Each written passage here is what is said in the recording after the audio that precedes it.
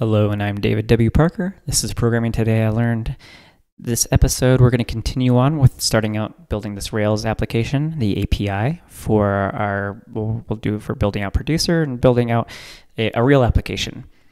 So, in any given application, one of the main things that everything needs, or generally speaking, is some kind of user. So, this application, this episode, we're going to go ahead and start building out the user. So in general, let's jump over here. Take a look at our code. The first thing I'm going to just change, and this is just for my own sake, uh, you may or may not need to do this. I've added host to my application for database YAML. And the reason for doing that is that I'm on uh, Windows here with WSDL. If you're on OS X or straight Linux, you may not need to do that. It just depends on your application. So with that being said, we're going to jump over here to our gem file. And we're going to go ahead and click here.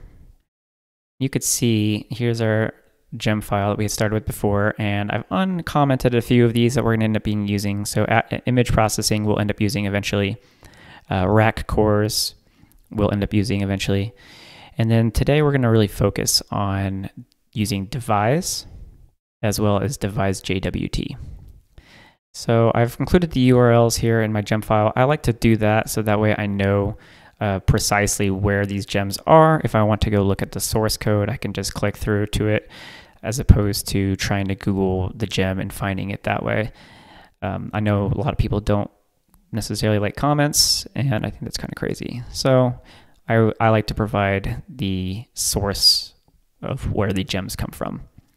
So within devise, and we'll look at that um, momentarily, but you can see I, ha I have the devise with the GitHub provided uh, and then JWT. If you haven't already, we're going to go ahead and you're going to run rake db create. That's going to create both your development as well as your testing databases. And then we're going to uh, need to run um, bundle install, which I did not put here. And then we're going to go ahead and after that, we'll be able to generate our devise uh, installations, which is going to provide us with what we need to run devise. So then we'll run Rails generate devise user, and that will create the file, uh, the user file, as well as this migration. And as you recall, that lives under DB migrations here. And it provides us with a lot of different options that we can use to expand on devise, and choose. So database authenticatable means can we authenticate with the database? Recoverable is are is the user allowed to reset their password? Rememberable means can they have a token where it says, "Hey, remember me," and then log in. Trackable, um, depending on where you are at in the world, this may or may not be something that you can or not provide for your users. For example, if you're in the EU with GDPR, you may not want to do this. Um, but if you want to keep track of it, this is a, nice built-in thing to devise where you can keep track of when the users have been signed in um, and as well as the number of count. Confirmable, this is one I've uncommented because I am going to include it in my application, which is uh, the ability for devise to go ahead and make sure that the user gets an email that they have to click to confirm that user before that user is a valid user. And this is just an easy, easy, easy way to cut down on spam. In general, that means that the spam bots have to have an actual email address as opposed to anything that they arbitrarily want to put into the form. And then finally, lockable, um, which if you want to go ahead and make it so that if somebody user has tried to log in too many times and you want to lock them out, let's say you're building a banking application or something that should be highly secure and users should only get so many chances to run it, this is a way to do that within um, Rails here uh, in devise. So I'm going to go ahead and run this so you could see the next command if you um, look back here at our README is going to be Rails DB migrate. So you could see, or rake DB migrate. I'll do Rails. So this is going to go ahead and run this migration to create the users table.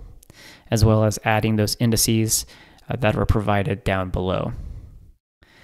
Uh, we're going to go ahead and add confirmable to this in the next episode, and we're going to go ahead and continue to get set up uh, with Devise JWT. Um, in the meantime, let's go ahead and take a look very briefly at uh, heartcombo slash devise.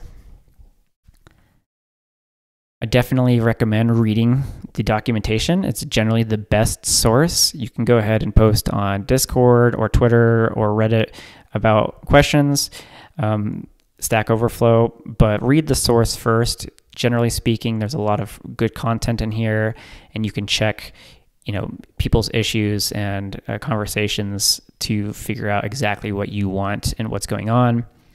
But in exa- uh, for example, they have example applications within this um, repository and it has how to get it started.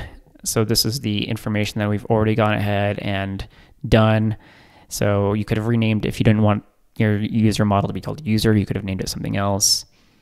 And now we have this action here before action authenticate user, which will allow us to be uh, check whether that devise user is valid.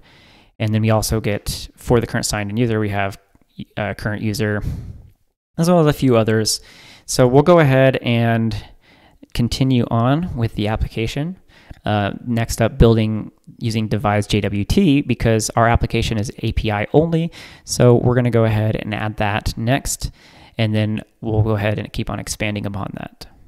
See you guys next time.